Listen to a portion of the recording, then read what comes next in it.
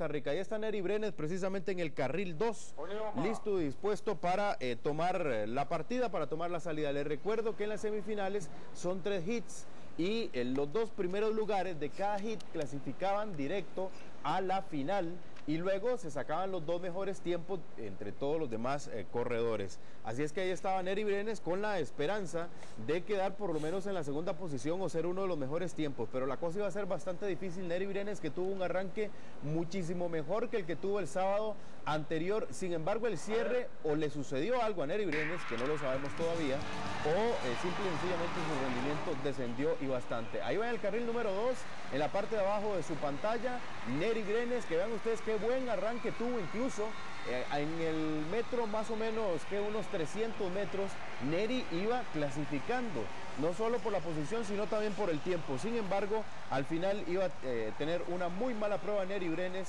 Aquí lo van a observar ustedes en la parte de abajo de su pantalla. Ahí lo ven en el carril número 2.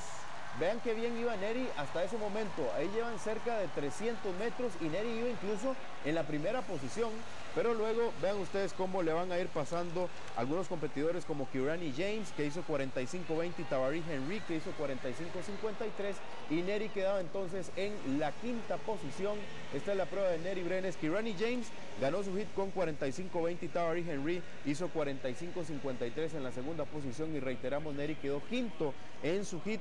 El tiempo de Neri Brenes, 45-93. 45-93, que es un tiempo bastante alto para Neri Brenes, que terminó extenuado, pero sí nos extrañó bastante ese mal cierre que tuvo el competidor costarricense. Ahí está la celebración de algunos que sí clasifican. Y la final, la final eh, quedan clasificados la Sean Merritt, Germain González, Kevin Borley, Jonathan Borley, Bartolomeu, también Kirani James, eh, Ogunodi y Henry.